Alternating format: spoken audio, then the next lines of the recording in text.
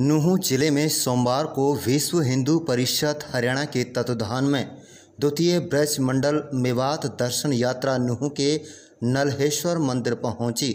मेवात दर्शन यात्रा में आरएसएस बजरंग दल विश्व हिंदू परिषद, दुर्गा वाहिनी गौरक्षा दल हरियाणा व अन्य हिंदू संगठन हज़ारों की संख्या में पहुँचे। यह मेवात दर्शन यात्रा नूह के नलहेश्वर मंदिर से शुरू होकर फिरोजपुर झिरका के शिव मंदिर तथा सिंगार गाँव के राधा कृष्ण मंदिर में समाप्त होगी। बताया जा रहा है कि पुलिस ने सुरक्षा व्यवस्था को लेकर 1100 पुलिस जवानों की ड्यूटी लगाई है। बता दें हिंदू समाज के लोगों के मुताबिक मेवात दर्शन यात्रा का मुख्य उद्देश्य ज़िले में हिंदुओं का जबरन धर्म परिवर्तन व गौहत्या बंद कराना है। डॉक्टर साहब आज की यात्रा है। क्या मुख्य उद्देश्य यात्रा का? यात्रा का जो स्थान है कौन कौन सी जगह पे यात्रा जाएगी? इस यात्रा का नाम है मेवात ब्रज मंडल धार्मिक यात्रा। मेवात कृष्ण की धरती है। यहाँ का चप्पा चप्पा धार्मिक दृष्टि से बड़ा महत्व का है। यहाँ महाभारत काल से भी पुराने मंदिर हैं और इतने पवित्र मंदिर हैं कि अज्ञातवास में भी पांडवों को यहाँ आकर रहना पड़ा।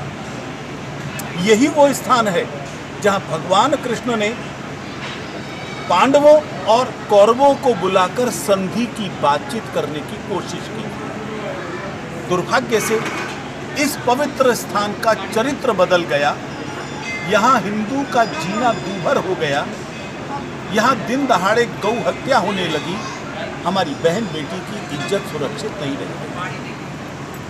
मेवात के लोगों की ये तकलीफ़ हरियाणा के लोगों से नहीं देखी गई। उन्होंने कहा, प्रशासन जो करना चाहे करे।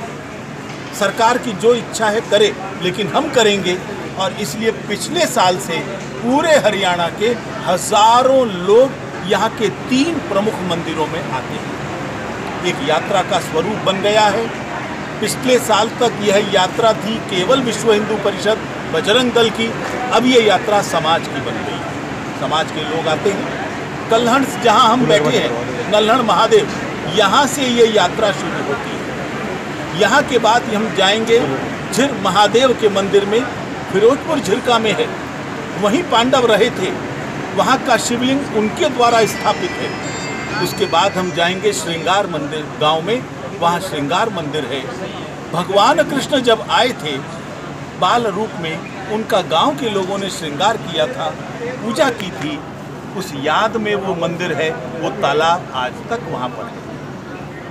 वैसे तो चप्पा चप्पा पवित्र है, लेकिन ये तीन प्रमुख मंदिर हैं, जहाँ हज़ारों यात्री जो आज आएँगे, वो जाएँगे और यहाँ के हिंदू समाज के साथ एक भाव दिखाएँगे, आप अकेले नहीं हो, आपके साथ हम भी हैं। कुछ होगा, पूरा हरियाणा यहाँ पर आ सकता है। अभी हम पूजन के लिए आए हैं।